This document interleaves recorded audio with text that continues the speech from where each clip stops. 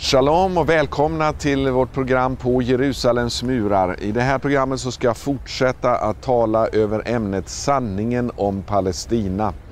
Och det, I förra programmet så eh, nämnde vi om att eh, en utav republikanernas eh, kandidater till presidentposten i Amerika, Newt Gingrich, sa i, en, eh, i ett tal i en intervju att palestinierna är ett påhittat folk. Och han fick naturligtvis väldig kritik för det här men han stod på sig och sa, frågade efteråt, är det jag sa faktiskt sant? Ja det är det, det är dags att någon står upp och vågar säga sanningen om Mellanöstern. Och det är vad vi ska tala om i, fortsätta tala om i det här programmet. Är det sant det som Newt Gingrich sa? Är palestinierna ett påhittat folk? Ja, vi tog fram tio citat utav arabiska och palestinska ledare själva som eh, erkänner detta väldigt klart och tydligt. Jag ska repetera ett par åtminstone av de här uttalandena för att vi ska kunna, innan vi går vidare i det här programmet. Det första kommer ifrån en eh, arabisk ledare och utbildare eh, ifrån Jordanien som sa 1937 han hette Avni Bey Abdul Hadi. Det finns inget land som heter Palestina. Palestina är en term som sionisterna uppfann. Det finns inget Palestina i Bibeln. Vårt land var i århundraden en del av Syrien. Palestina är ett främmande begrepp för oss. Det var sionisterna som införde det begreppet. Så det sa alltså eh, Aini Bey Abdul Hadi 1937 att det var sionisterna som uppfann det begreppet. Och vi vet ju, jag nämnde också i det förra programmet att före 1948 så var det enbart judarna som använde sig utav ordet Palestina och palestinier. Så hette till exempel Jerusalem Post, Palestine Post på den tiden. Och eh, Eh, till exempel Israels filharmoniska orkester heter den eh, palestinska filharmoniska orkestern och det var enbart judarna som använde sig utav det begreppet precis som eh, den här jordanska arabiska ledaren sa. Eh, jag ska ta fram också ett par uttalanden ifrån PLO-ledare, en av de mest klarläggande eh, som jag ska repetera från förra programmet. Det kommer ifrån den militära chefen för, eller chefen för det militära högkvarteret inom PLO, Suher Hussein, som sa den 31 mars 1977 i en intervju för en belgisk tidskrift. Det palestinska folket existerar inte. Skapandet av en palestinsk stat är endast ett medel för att fortsätta vår kamp mot staten Israel för vår arabiska enhet. Bara av politiska och taktiska skäl talar vi idag om existensen av ett palestinskt folk eftersom de arabiska nationella intressena kräver att vi har ett land för det palestinska folket för att kunna motverka sionismen. Av taktiska skäl kan Jordanien, som är en suverän stat med definierade gränser, inte göra anspråk på Haifa och Jaffa, men som palestinier kan jag utan tvekan kräva Haifa, Jaffa Bersheva och Jerusalem. Och kanske då en av de tydligaste uttalandena eh, också det var det som Yasser Arafat själv hävdade i den biografi som skrevs om hans liv um, och eh, det, som heter Yasser Arafat terrorist eller fredsskapare. Det är eh, skriven av Alan Hart. Där hävdar Yasser Arafat minst ett dussintal gånger följande, jag citerar. Det palestinska folket har inte någon nationell identitet. Jag, Yasser Arafat, är förutbestämd av ödet att ge dem denna identitet genom krig mot Israel. Så vi ser alltså att den palestinska identiteten den är väldigt ny och den skapades för att kunna eh, bekämpa Israel och ta det, eh, det här landet ifrån det judiska folket. Eh, före PLOs grundande eh, så 1964 så var ju åtminstone hela västvärlden väldigt eniga i stödet bakom det lilla landet Israel. Och eh, kan ju ta som exempel när Israel vann Eh, junikriget, sexdagarskriget 1967 så hölls eh, eh, Socialdemokraternas partikongress i Stockholm just de dagarna. Och eh, Tage Erlander, Socialdemokraternas ordförande, eh, och partiledare, han eh, avbröt hela partikongressen med att meddela de glada nyheterna att Israel hade vunnit kriget mot araberna och när man ställde sig upp och applåderade i partikongressen. Men Yasser Arafat blev faktiskt den som eh, skapade en palestinsk identitet. Och eh, genom att ta över det här namnet då Palestina som var ett främmande begrepp innan dess för araberna. Man sa att vi är inte palestinier, vi är araber. Men palestinierna, eller Yasser Arafat, han, eh, eh det var ju så att eh, PLO, den palestinska befrielseorganisationen, grundades utav KGB 1964. Eh, och då tog man eh, den Egyptienfödda eh, eh, mannen Yasser Arafat och började skola honom och träna honom ideologiskt för den här kampen.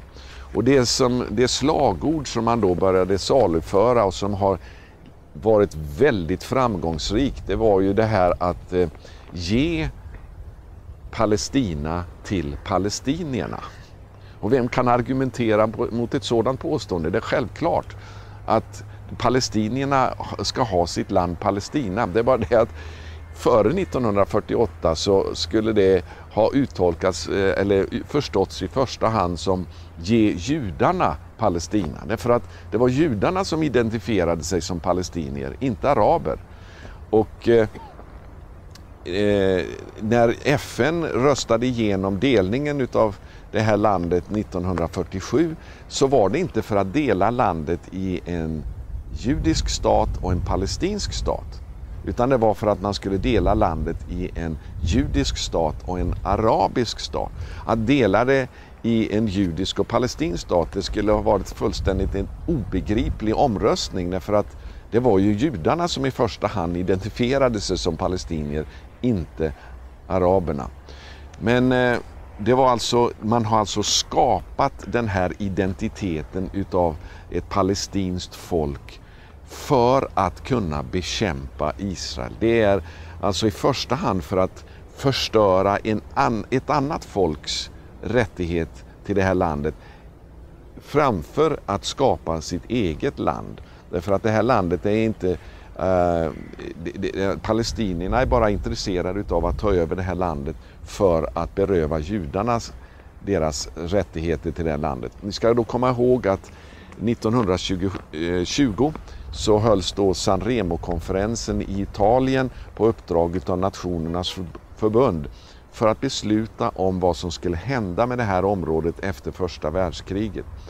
Och i den kongressen där både judiska och arabiska ledare fanns närvarande och konsulterades så kom man enigt överens om följande uttalande där man erkände det judiska folkets historiska rättigheter att återskapa sitt eget hemland i Palestina.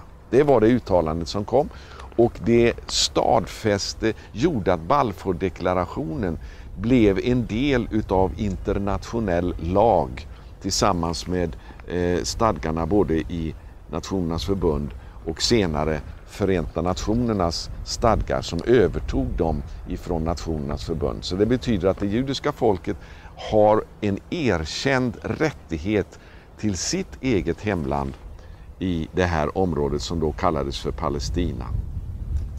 Däremot så ha, finns det ingen som helst eh, nat, eh, eh, arabisk palestinsk nationell identitet som man kan spåra genom hela historien före det att judarna började invandra här på 1900-talet.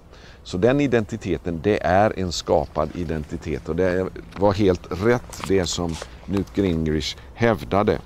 Um, och jag vill säga, ge här ett annat citat där Newt Gingrich försvarade sig med det han sa efter att han fick väldigt naturligtvis kraftiga mothugg ifrån politiska ledare både bland araberna och även i USA, till exempel USAs utrikesminister eh, Hillary Clinton som sa att de här uttalandena de är inte någonting som hjälper situationen.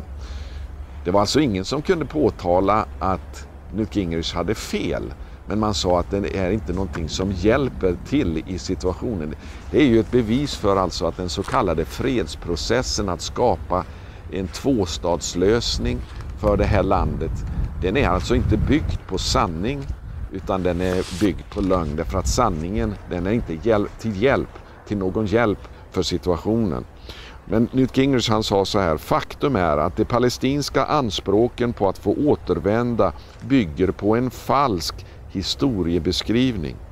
Någon borde ha mod att gå hela vägen tillbaka till 1921 och Nationernas förbunds mandat för ett judiskt hemland och visa på sammanhang som ledde fram till Israels tillblivelse. Palestinier blev inte en vanlig term förrän efter 1977. Och han fortsätter, detta är ett propagandakrig där vår sida vägrar att engagera sig. Och vi vägrar att tala sanning när den andra sidan ljuger. Du kommer inte att vinna på lång sikt om du är rädd för att stå fast och stå för sanningen.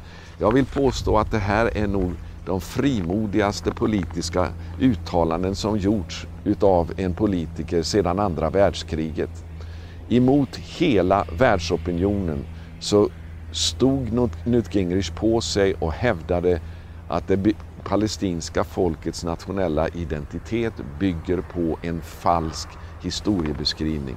Och som jag sa, det, det förklarade jag i, i, utifrån tio stycken uttalanden av arabiska ledare själva som bekräftar att Newt Gingrich har rätt.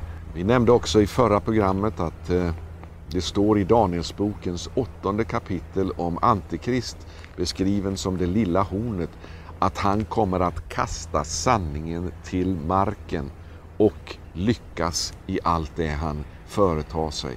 Och finns det någonting som är ett exempel på hur sanningen har blivit kastad till marken så är det just det som händer inom konflikten i Mellanöstern. Den, eh, och det här är väldigt viktigt för oss att vi eh, beväpnar oss med fakta, med sanningar för att vi ska kunna stå fasta i det här propagandakriget som förs emot staten Israel. Är det något folk som har rättighet till sitt eget land så är det det judiska folket där man har en historia som går, tio, som går tusentals ska säga, år tillbaka i, eh, i tiden just i detta land. Och det var det här som Sanremo-kongressen eh, erkände innan araberna började eh, motsäga sig den judiska eh, återvandringen hit till deras eget land så erkänner man de historiska eh, rättigheterna som det judiska folket har att återskapa sitt hemland här i eh, det som då kallades för Palestina.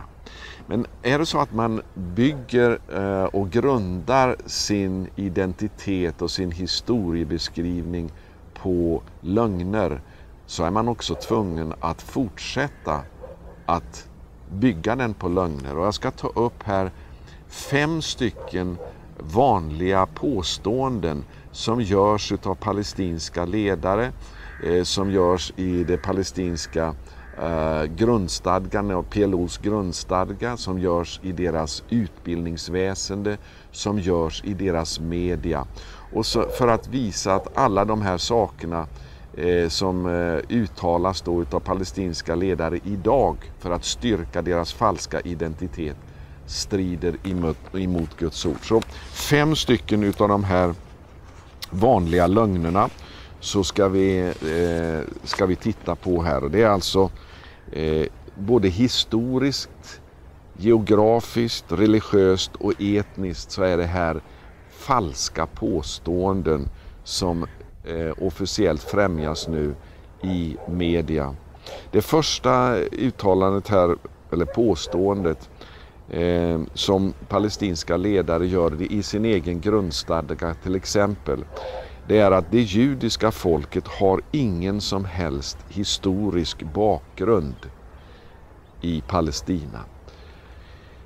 Det här uttalandet alltså, det gör eh, att större delen av hela Bibeln från perm till perm i så fall är en lögn. Men inte bara gör det Bibeln till en, ett lögnaktigt dokument, hela historieskrivningen alltså i Bibeln från perm till perm.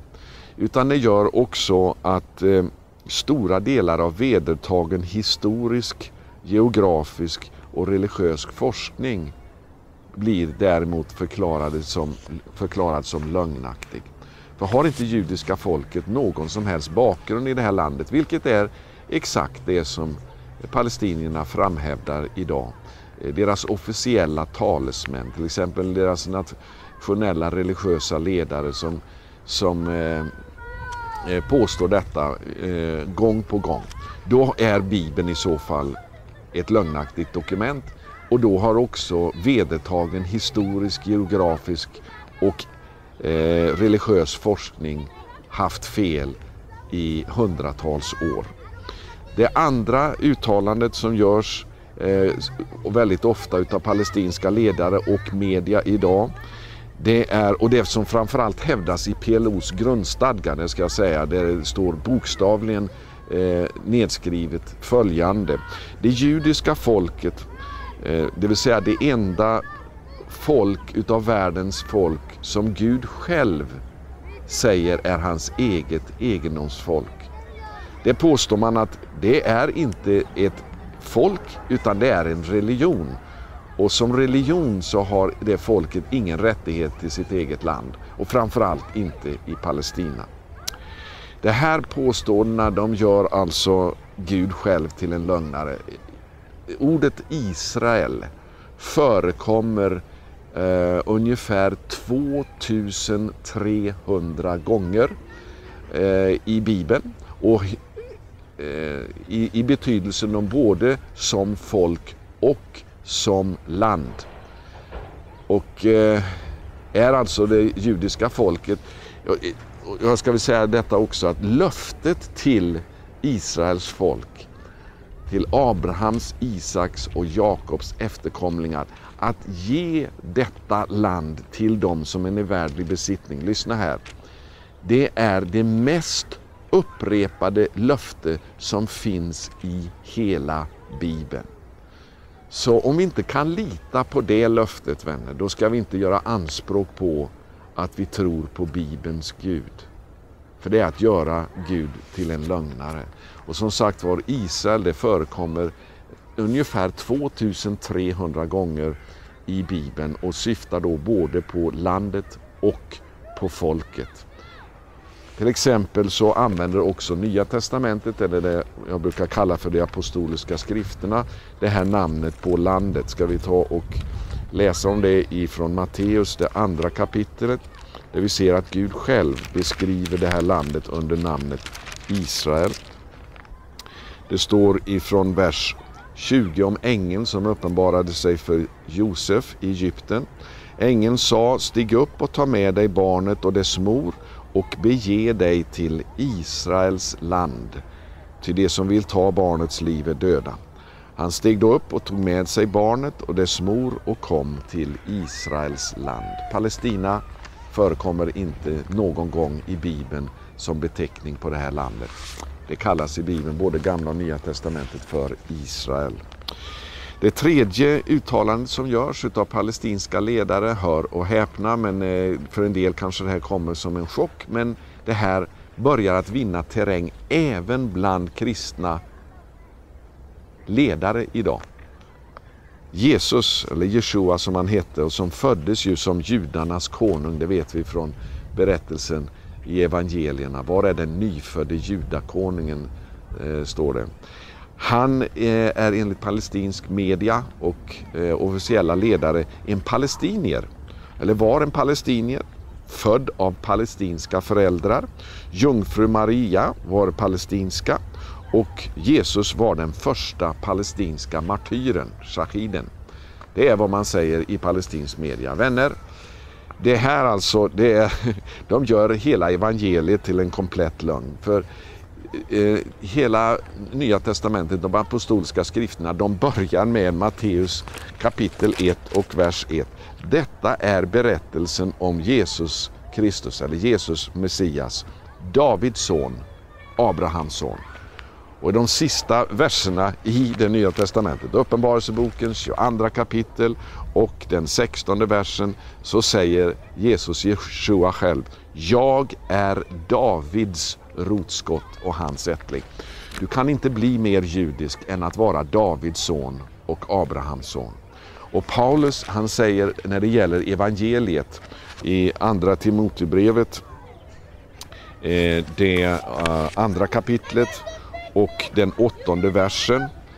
Tänk på Jesus Kristus, eller Jesus, Jeshua Messias, som är uppstånden från de döda och som har kommit av Davids släkt enligt det evangelium som jag predikar. Det är alltså hedningarnas apostel Paulus som säger det att enligt det evangelium som han predikar så är Jeshua Davids son. Han är alltså en jude, ingen palestinier. Men eh, hans mor Miriam, som hon ju hette, eh, och hans far Josef, jordiske far Josef, de var Eh, människor som levde i lydnad för Mose lag som rättfärdiga judar i detta land. Det är viktigt att stå upp för sanningen för att inte evangeliet ska beröva sin makt. Om inte Jesus är Davids son så kan han inte vara Messias. Han kan inte vara världens frälsare. Så enkelt är det. Den fjärde lögnen. Det har aldrig funnits några judiska tempel på Tempelberget i Jerusalem. Det här hävdar till exempel en högste ledare för den palestinska religiösa myndigheten. Ehm, eh, och det var det här som gjorde faktiskt att eh, fredsförhandlingarna i Camp David år 2000 brakade ihop mellan Yasser Arafat och Ehud Barak under Clintons, president Clintons ledning. För när Clinton frågade vad ska vi göra med Tempelberget så eh, eh brusade Yasser Arafat upp och sa vadå Tempelberget? Här har aldrig funnits något judiskt tempel och stormade ut ur lokalen och så brakade förhandlingarna samman.